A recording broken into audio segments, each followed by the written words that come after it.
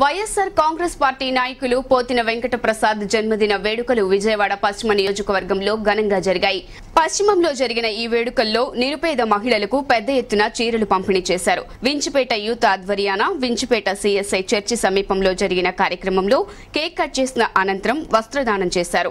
ఈ సందర్భంగా ఆయన మాట్లాడుతూ ఈ ఏడాది వందలాది అభిమానుల మధ్య పుట్టినరోజు వేడుకలు జరుపుకోవడం సంతోషంగా ఉందన్నారు. మానవ సేవయే మాధవ సేవగా భావిస్తూ తమ వంతు సేవలను పేదలకు అందిస్తున్నట్లు చెప్పారు. సెప్టెంబర్ రెండు వైఎస్సార్ వర్ధంతి సందర్భంగా పశ్చిమంలోని అన్ని డివిజన్లలోనూ పెద్ద ఎత్తున సేవా కార్యక్రమాలను చేపడుతున్నట్లు వెల్లడించారు. ఈరోజు సెప్టెంబర్ ఫస్ట్ నా పుట్టిన తేదీ అన్నమాట. ఈరోజు నా పుట్టిన తేదీ కార్యక్రమంలో పశ్చిమ నియోజకవర్గంలో నేను జరుపుకోవడం నేను పుట్టిన ఏరియాలో జరుపుకోవడం నాకు చాలా ఆనందంగా ఉంది. ప్రతి సంవత్సరం నా పుట్టినరోజుని డెఫ్ అండ్ డెమ్ అనాథ బాలలో ఆ ఏరియా వాళ్ళతో జరుపుకునేవాడిని. కానీ ఈ సంవత్సరం నా మిత్రులు శ్రేయభిలాషులు కార్యకర్తలు అందరూ కూడా వారు వారి ఏరియాల్లో ఈ పుట్టినరోజు కార్యక్రమం జరుపుతామని అడిగారు. వారి మాట కాదనలేక ఈరోజు ఈ కార్యక్రమం జరపడం జరుగుతుంది. ఇరవై డివిజన్లో పేద ప్రజలందరికీ కూడా ఈరోజు మరియు రేపు వైఎస్ రాజశేఖర్ గారి జయంతి సందర్భంగా మూడు వేల చీరలని పేద మహిళలకి మహిళలకు ఇవ్వడానికి ఈరోజు ప్లాన్ చేశాము. అంతేకాకుండా వైఎస్ రాజశేఖర రెడ్డి గారి జయ వర్ధంతి రోజు అన్ని ఏరియాల్లో చీరలు మరియు అన్నదానాలు మరియు పేద పిల్లలకి ఉచితంగా బుక్స్ పెన్నులు ఇవన్నీ కూడా అందజేయడం జరుగుతుంది. ఈ రోజు నా పుట్టినరోజు నా నియోజకవర్గంలో జరుపుకోవడం నాకు చాలా ఆనందంగా ఉంది. మరియు పేద ప్రజలందరూ కలిసి చీరలు పంపిణీ బుక్స్ పంపిణీ అన్నీ చేయడం కూడా చాలా చాలా నా ఫ్రెండ్స్తో నా మిత్రులతో అందరూ కలుపుకోవడం చాలా చాలా ఆనందంగా ఉంది. అందరూ కూడా వైఎస్ జగన్మోహన్ రెడ్డి గారు నేను సీఎంగా చేసి మన పేదల యొక్క బాధలన్నీ కూడా ఆయన ముఖ్యమంత్రి అయిన తర్వాత వారికి విన్నవించుకొని మన మన బతుకుల్లో వెలుగు నింపుకోవాలని కోరుకుంటూ సెలవు తీసుకున్నాను థ్యాంక్ యూ సెంట్రల్ నియోజకవర్గంలో నిర్మించిన అంతిమ సంస్కార భవన ప్రారంభోత్సవం శనివారం జరిగింది. ఈ కార్యక్రమానికి హాజరైన అధికార పార్టీ ప్రజా ప్రతినిధులు రాష్ట్రంలోనే తొలిసారిగా వినూత్న ఆలోచనతో అంతిమ సంస్కార భవనం నిర్మించడం హర్షణీయమన్నారు.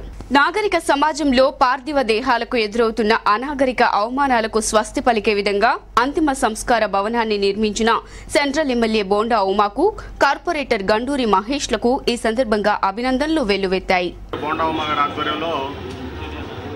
మరి ఎక్కడా లేనటువంటి విధంగా నిరుపేదల కోసం ఇళ్ళు లేనటువంటి పేదవారి కోసం మరి ఎప్పుడైతే పేదలు వాళ్ళ కుటుంబంలో వ్యక్తులు చనిపోతూ ఉంటే ఇబ్బందులు పడతా ఉన్నారో కర్మకాండలు అవి పూర్తి చేసుకోవడం కోసం ఆ కార్యక్రమాలు పూర్తి చేసుకోవడం కోసం అద్దెళ్ళలో ఉంటూ మరి అనేక రకాలుగా కూడా కుటుంబ సభ్యులు పోయినప్పుడు మరి చాలా బాధలో పడుతున్నటువంటి విషయం మనందరికీ తెలిసిందే. అది గమనించినటువంటి మన ఎమ్మెల్యే బోండవమ్మ గారు ఎక్కడా లేనటువంటి విధంగా ఒక వినూత్నమైనటువంటి ఇనిషియేటివ్కి శ్రీకారం చుట్టడం జరిగింది.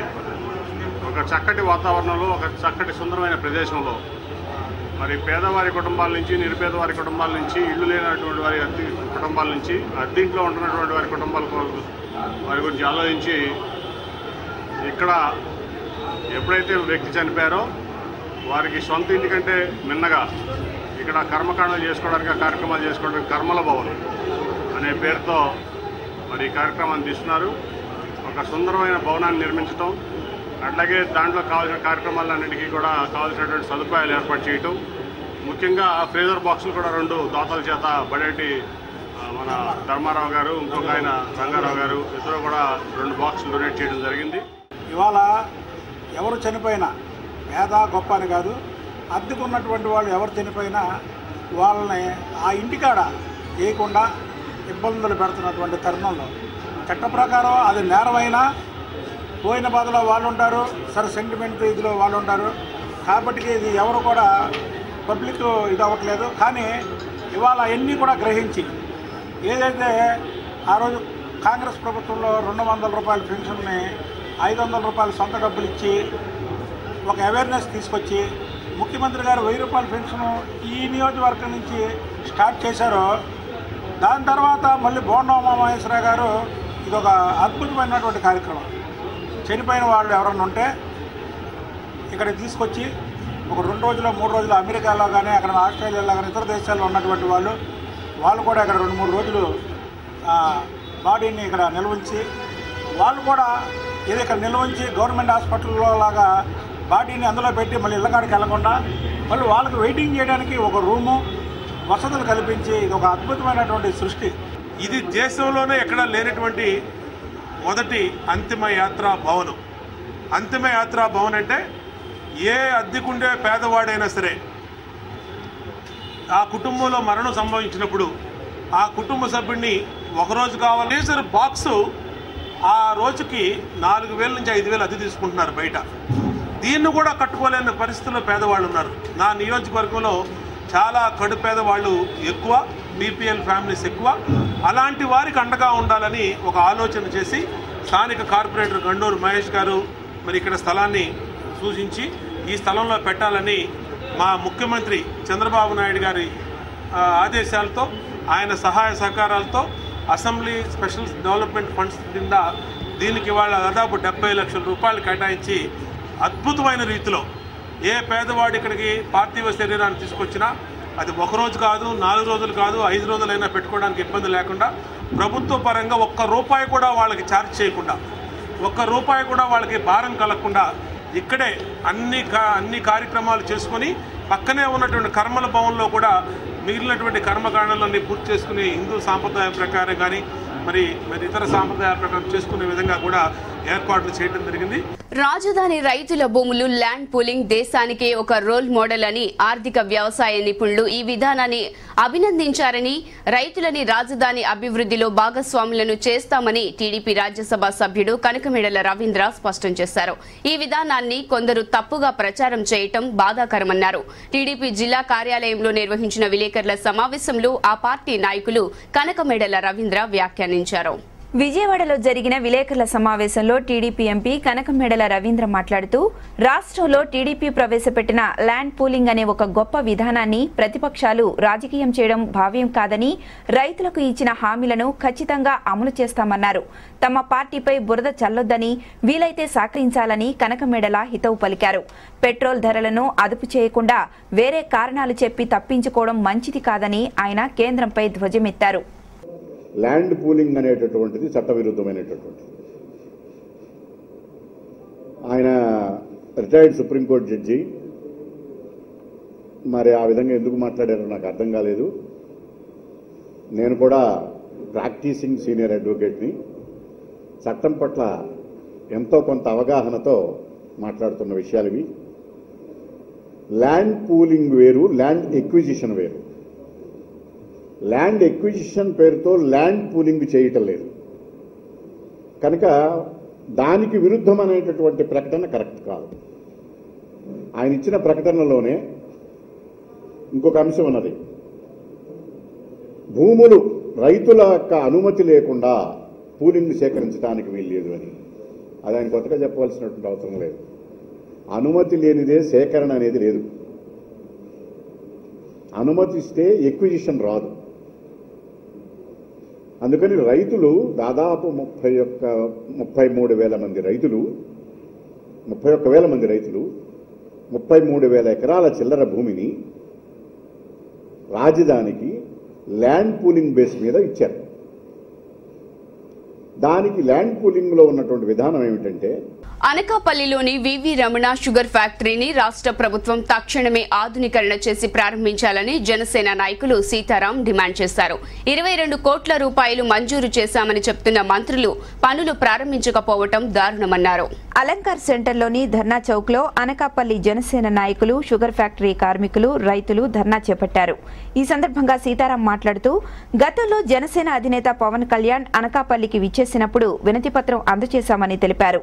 పవన్ కళ్యాణ్ విజ్ఞప్తి మేరకు రాష్ట్ర ప్రభుత్వం స్పందించి మిల్లును ఆధునీకరణ చేస్తామని హామీ ఇచ్చిందని చెప్పారు. ఇరవై రెండు కోట్ల రూపాయలతో ఫ్యాక్టరీని పునరుద్ధరిస్తామని మంత్రి అయ్యన్న పాత్రుడు హామీ ఇచ్చినా నేటికి పనులు ప్రారంభించకపోవడం దారుణమన్నారు. ఇరవై రెండు కోట్ల రూపాయలతో షుగర్ ఫ్యాక్టరీ పునర్నిర్మాణం సాధ్యం కాదని సుమారు అరవై కోట్ల రూపాయలను మంజూరు చేయాలని డిమాండ్ చేశారు. మన రాష్ట్ర ముఖ్యమంత్రి నారా చంద్రబాబు నాయుడు గారికి నమస్కారం అండి. వెనకాపల్లి జనసేన పార్టీ నుండి వచ్చి ఇక్కడ నాలుగో రోజు దీక్షలో ఉన్నామండి ధర్నాలో ఉన్నామండి. గత మూడు రోజులుగా మేము చేస్తూనే ఉన్నాము. మూడు రోజుల కింద మేము వచ్చింది ఇరవై రెండు కోట్ల రూపాయలు రిలీజ్ చేశానని చెప్పి మన అనకాపల్లి ఎమ్మెల్యే విలా గోవింద్ సత్యనారాయణ గారు చెప్పారు. అలాగే మంత్రివర్యులు అయ్యన్ పాత్రి గారు కూడా చెప్పారు. కానీ నిన్న వచ్చి ఈరోజు మార్నింగ్ పేపర్లో చూస్తే ఆంధ్రజ్యోతిలో నిన్న ఈవినింగ్ వాళ్ళు ప్రెస్ మీట్ పెట్టించారంట ముప్పై కోట్లు ముప్పై మూడు కోట్లు రిలీజ్ అయిందని చెప్పి ఈరోజు ఆంధ్రజ్యోతిలో పడిందని ముప్పై కోట్లు రిలీజ్ అవుతుందని చెప్పి అయిపోయిందని చెప్పి అలాగే ఈరోజు ఉదయాన్నే మన ఎమ్మెల్యే సత్యనారాయణ గారు వెళ్ళిపోయి డైరెక్ట్ తుమ్మపాల సూర్ ఫ్యాక్టరీలో స్వచ్ఛ భారత్ కార్యక్రమం చేస్తున్నారండి. తమ తెలుగుదేశం పార్టీ కార్యకర్తలతో. అయ్యా ఎన్ని రోజుల నుంచి స్వచ్ఛ భారత్ కార్యక్రమం కనిపించలేదండి? ఈరోజు కనిపించిందండి కనిపించిందా అండి? మేము దీక్ష చేయడంతో కనిపించిందా సార్ మన ఎమ్మెల్యే గారికి? ఇది ఎంతవరకు పద్ధతి అండి? మేము నాలుగు రోజులుగా ఇక్కడ పడుతున్నామండి. కానీ గత సంవత్సరం ఐదు ఆరు సంవత్సరాలుగా Anakapalli V V Ramana cooperative sugar factory కార్మికులు రైతులు ఆధారపడిన కుటుంబాలన్నీ కూడా రోడ్డును పడి చాలా బాధలు పడుతున్నారు. ఇప్పటికే సుమారు నలభై మంది చనిపోయారు. వారి కుటుంబాలను ఆదుకోవాలి. మీరు తక్షణమే స్పందిస్తూ మా ప్రధాన డిమాండ్ అయిన అరవై కోట్ల రూపాయలు రిలీజ్ చేయాలి. రిలీజ్ చేస్తూ ఫ్యాక్టరీ ఆధునీకరణ కమిటీ వేయాలి. మీ ఎమ్మెల్యే గారికి ఒకసారి చెప్పండి. ఇటువంటి స్వచ్ఛ భారత్ కార్యక్రమాలు చేసి ప్రజలను మభ్యపెట్టి కళ్ళబొల్లి కబుర్లు చెప్పొద్దని చెప్పండి. ఇటువంటి పనులు ఆపుకోమని చెప్పండి. మీకు ఏమాత్రం చిత్తశుద్ధి ఉన్నా తక్షణమే స్పందిస్తూ అరవై కోట్ల రూపాయలు రిలీజ్ చేస్తారని చెప్పి అనకాపల్లి జనసేన పార్టీ విన్నవించుకుంటుందండి. వీళ్ళకి సపోర్ట్గా విజయవాడ జనసేన పార్టీ తరపున మేము ఈ ధర్నా కార్యక్రమంలో పాల్గొన్నామండి.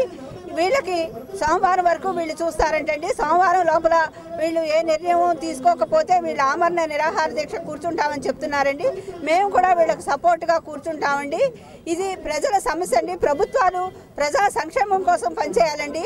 ప్రజలు ఇన్ని ఇబ్బందులు పడతా ముప్పై ఎనిమిది మంది చనిపోయారంటండి.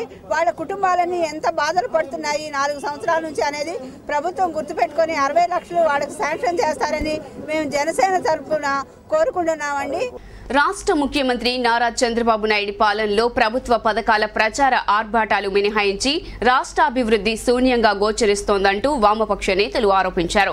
ప్రజా సమస్యలపై పోరాటం చేయాల్సిన ప్రతిపక్ష నేత బీజేపీతో చేతులు కలిపి స్థానిక సమస్యలను గాలికి వదిలేశారని విమర్శించారు. వామపక్షాల ఆధ్వర్యాన ఈ నెల పదిహేనున విజయవాడలో చేపట్టిన మహాగర్జనను జయప్రదం చేయాలంటూ ప్రజలకు పిలుపునిచ్చారు. విజయవాడలోని సుందరయ్య భవన్లో జరిగిన పాత్రికేయుల సమావేశంలో సిపిఎం సిపిఐ నేతలు మాట్లాడుతూ నాలుగు సంవత్సరాల చంద్రబాబు పాలనలో ఒక్క హామీ కూడా నెరవేర్చలేదని విమర్శించారు. పథకాల ప్రచార ఆర్భాటమే తప్ప అభివృద్ధి శూన్యమని ఎద్దేవా చేశారు.